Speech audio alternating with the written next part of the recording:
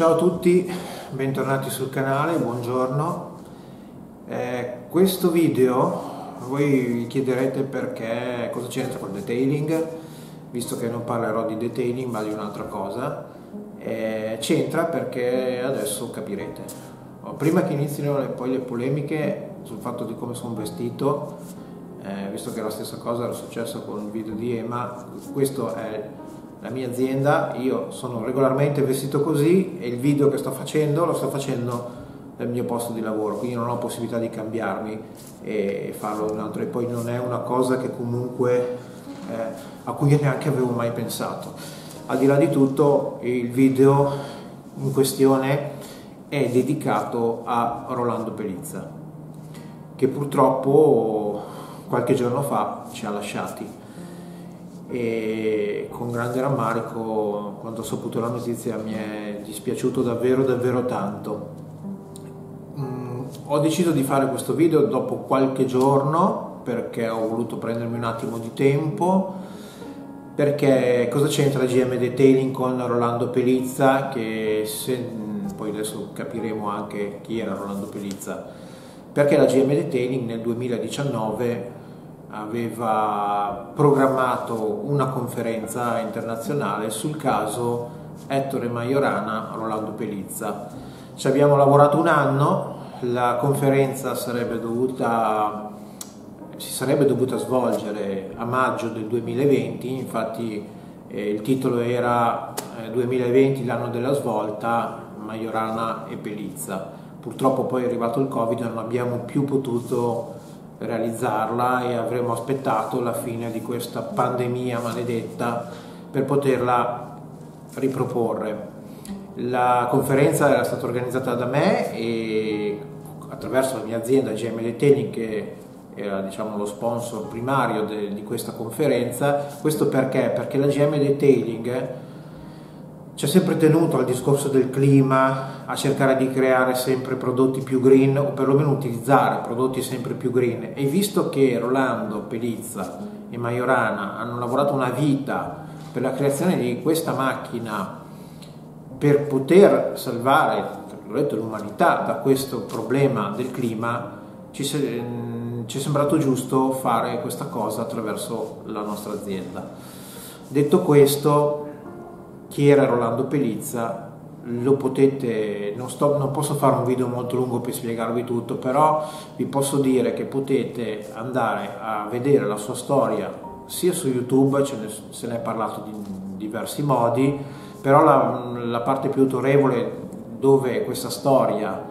è stata resa pubblica è stato attraverso il giornalista Rino Di Stefano, di cui ha creato praticamente ha seguito tutta la vicenda, ha realizzato un articolo diversi anni fa e voi potete seguire attraverso lui tutto quello che è stata questa storia, oppure attraverso i libri creati, cioè fatti, realizzati dal cugino Alfredo Ravelli.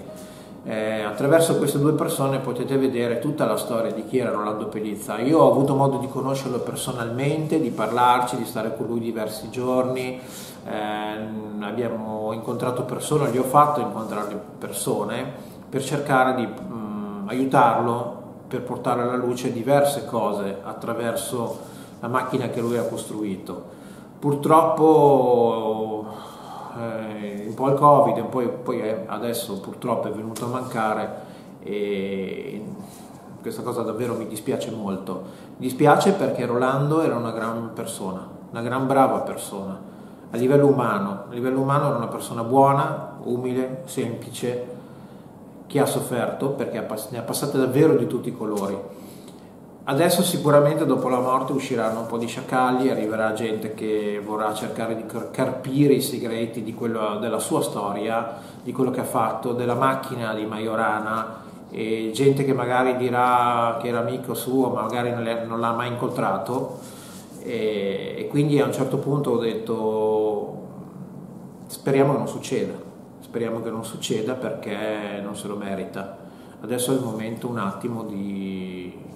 lasciar perdere purtroppo il fatto del perché è morto, perché sapete che è morto di Covid, se non lo sapete ve lo dico io,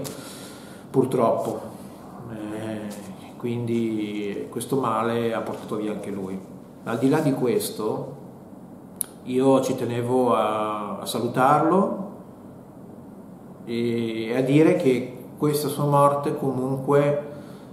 non sarà la fine della sua storia e neanche di quello che lui per anni, per tutta la vita ha cercato di portare avanti. Perché la conferenza la faremo comunque appena finirà questa pandemia, la riproporremo, io Rino Di Stefano, giornalista, la riproporremo e inviteremo persone che erano già state invitate allora come fisici o come persone che comunque hanno seguito in prima persona la storia e ne parleremo, ne parleremo in maniera seria, in maniera con documenti alla mano, perché si, i documenti esistono, sono stati periziati, sono stati verificati, quindi la sua storia non morirà con lui.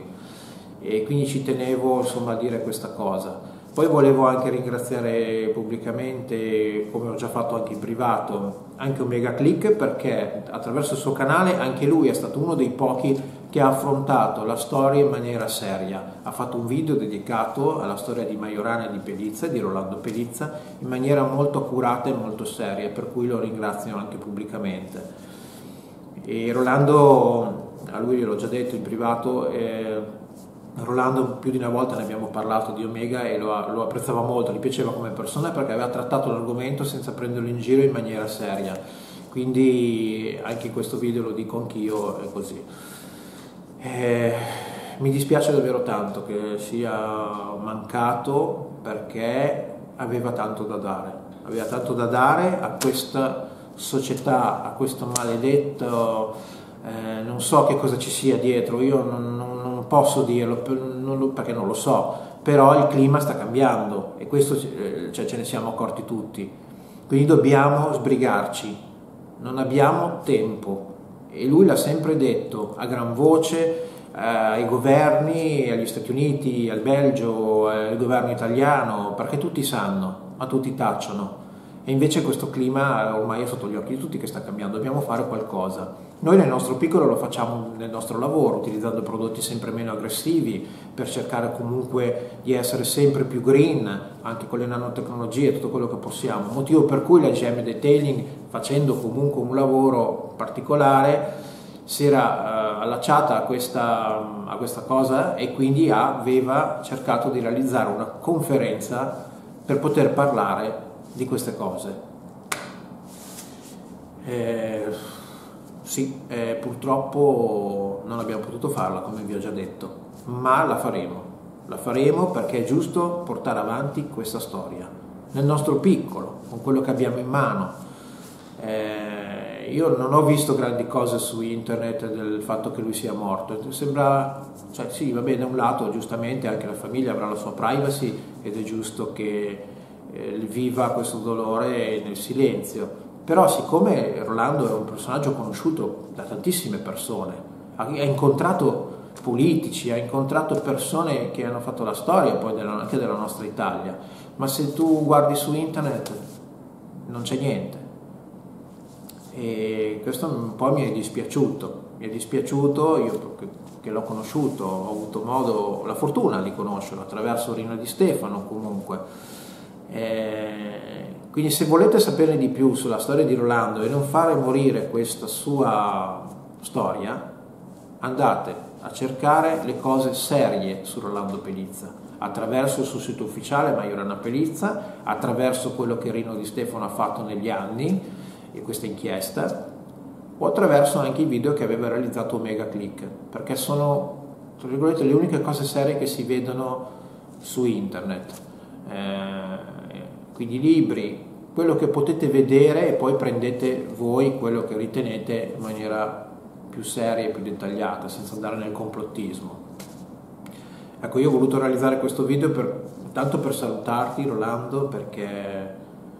mi ha fatto davvero piacere conoscerti quando eri in vita, mi è dispiaciuto davvero averti perso, anche se ultimamente non ci sentivamo tanto perché comunque un po' il covid, un po' non abbiamo più potuto incontrarci, un po' perché ognuno insomma ha le sue cose anche da fare nella vita,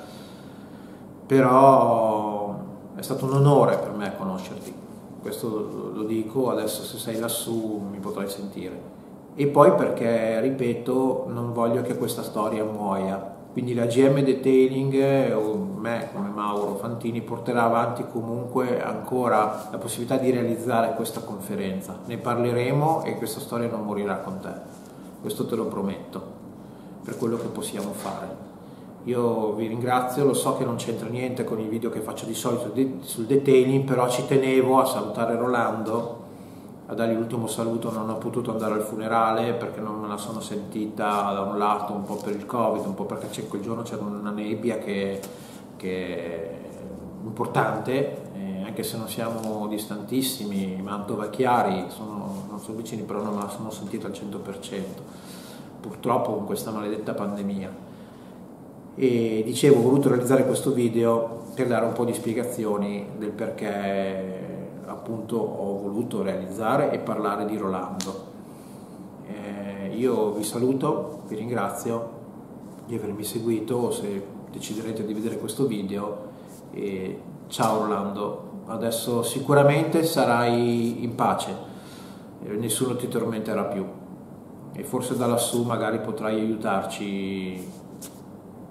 per chi crede nel, nell'aldilà, potrai aiutarci, aiutare noi poveri